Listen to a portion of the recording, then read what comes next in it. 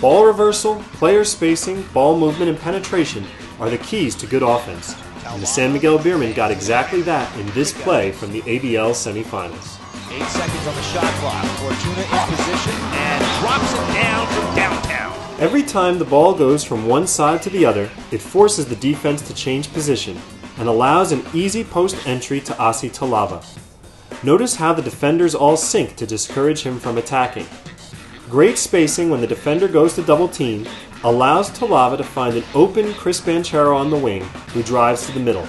Again, penetration forces defenders to commit, resulting in an open Jeric Fortuna three pointer.